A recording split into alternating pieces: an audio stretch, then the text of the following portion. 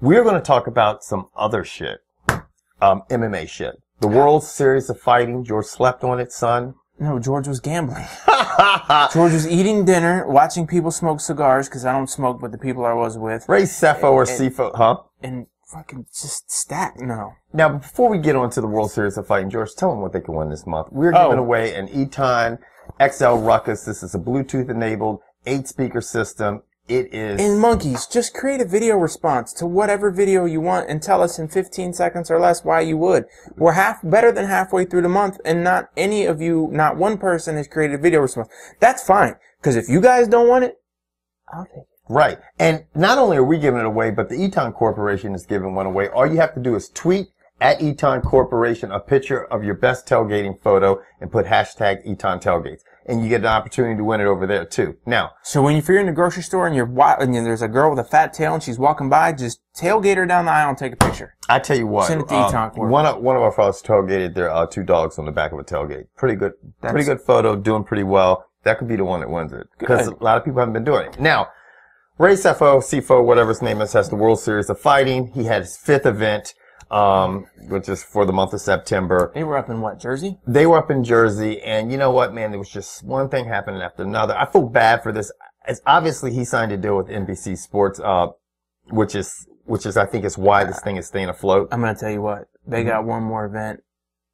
If, and now mind you, it is 1.44 in the morning. Mhm. I don't know what's gonna happen Monday or Tuesday when you see this, but I wouldn't be surprised if this was their last event or if they have one more event. Yeah, they. It's know, just, they, they, they have way too many issues. They've got way too many issues. Um, you know, the first issue they had, which I don't know if you call their fault, but it happened to be the fault of at least maybe the New Jersey Athletic Commission or either the corner of this guy, Elvis, uh, Mutakpik. And I could be saying his name wrong and I probably am. And you know what? I just don't give a shit.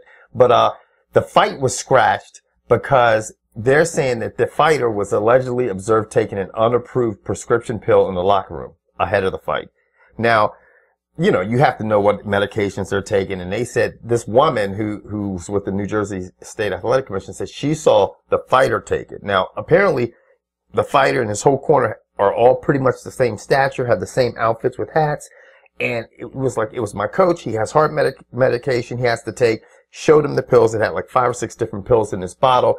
They didn't give a shit. The woman was adamant that she saw it. They were adamant that he did not take it, but whatever happened, they did not allow the fight to go on. So that was the first big month. Then another Gracie brother decided that he wanted to fight, or a Gracie cousin, or whatever it might be. Some dude with the last name Gracie, got knocked out again. Is anyone shocked? Now he got knocked out by Thor. Well, this guy's nickname is Caveman, and uh, it was it was one of the it was the, one of the best knockouts I've seen in quite some time. He hit him, bap, right, and he's and then the guy Rolles Gracie spins around, and he looks like he's walking away, and then he just does a fucking face plant on the canvas. That Great guy- fucking knockout. If you can see the highlight, go see it.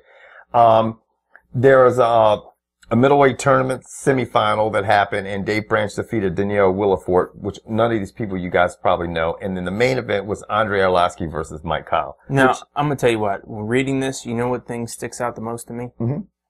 I don't know. Andrei Arlovski won a fight that went to the unanimous decision. It really did. I, I, I will- tell you what. It, I wanted to see how this fight went because Arlovski is training with Greg Jackson. Mm-hmm. And, uh, and apparently when, I did not know this, when he fought, uh, Anthony Rumble Johnson in the first round, he broke his jaw. And he fought two more rounds against Anthony Rumble Johnson and, and, and obviously lost the decision and immediately had to get his jaw wired, was out for, lost 35 pounds because his jaw was wired. I had no idea that happened in the last fight. So he, He obviously had no problem putting weight on him.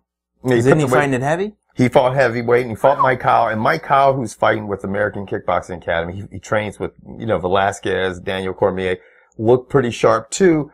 But in the end, Arlovski just picked him apart a little bit. You know, he had, he had Arlovski hurt in the first, in first round. And if he took advantage of that, he probably could have won the fight and put him away. But he didn't jump on him quick enough. And, uh, Andrei Arlovski ended up getting the decision. Um, what's next for both of them? Obviously, it's going to be a rematch of Andrei versus, uh, Anthony Rumble Johnson. I don't know what's next for Mike Kyle because he's been kind of a roller coaster Now, ride. with that said, that's if World Series of Fighting has another event. Yes. Now,